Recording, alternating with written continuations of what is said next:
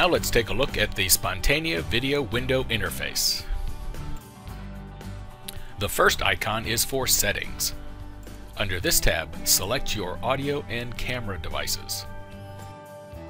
The Layout tab will allow you to format how your application and videos are displayed.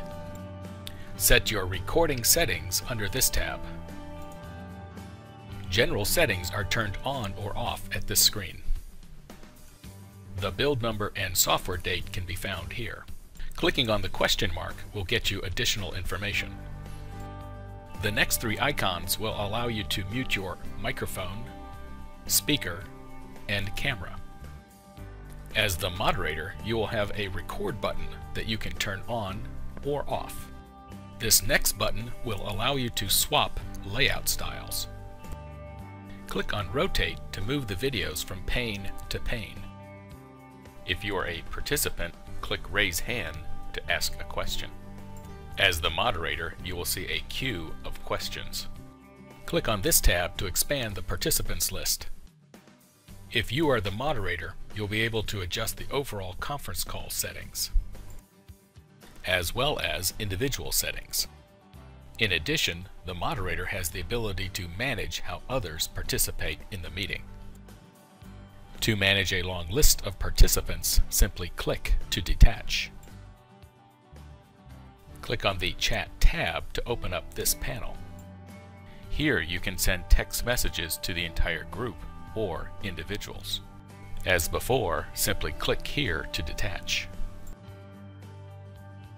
The Presentation tab has multiple collaboration tools. Click Share Application to bring up a list of running programs. You can choose to share your entire desktop or individual applications. Click on the Presentation tab again. This will allow you to change the presentation you're sharing, allow application control, or stop the sharing. Clicking on File Transfer will open up a dialog box that will allow you to find a file that you can then send to everyone else.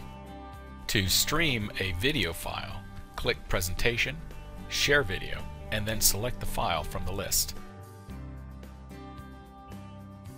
To launch the Whiteboard application, simply click on the Whiteboard tab. The tools at the top will allow you to draw just about anything, and then save your work. Others can simply click Whiteboard and also annotate. Click the Whiteboard tab again to close the application. Another way of using Whiteboard is to annotate an application you are sharing.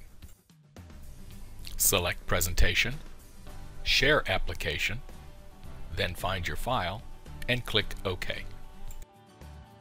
At this point, the Spontania interface has been replaced by a ribbon across the bottom, participants' videos are in a floating panel, and the application you have selected is being shared.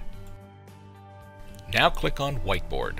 This will take a snapshot of your application that you're sharing and place it in the whiteboard. As before, you and others can use the drawing tools to annotate. Clicking the Whiteboard tab will return you to the Video Window interface. Click on the tab on the left side of the interface to open up this panel. Under the Contacts tab, you'll find a list of your Spontania contacts that you can click and invite.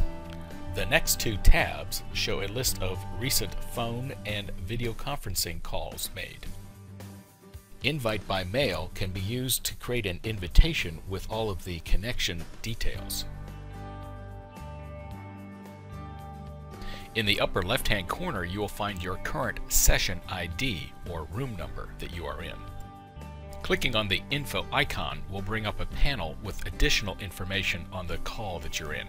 This will include additional information for a video conferencing system or a phone to connect to this meeting.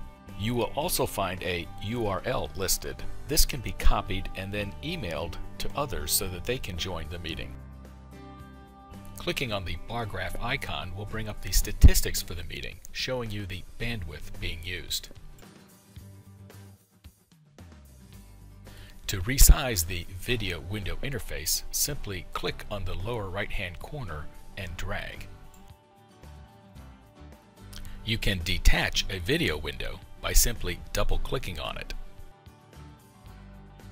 Click on the top bar to drag the frames to new locations, then the lower right corner to resize. On the detached window, you can click in the upper right hand corner on the little X to return it to the main window.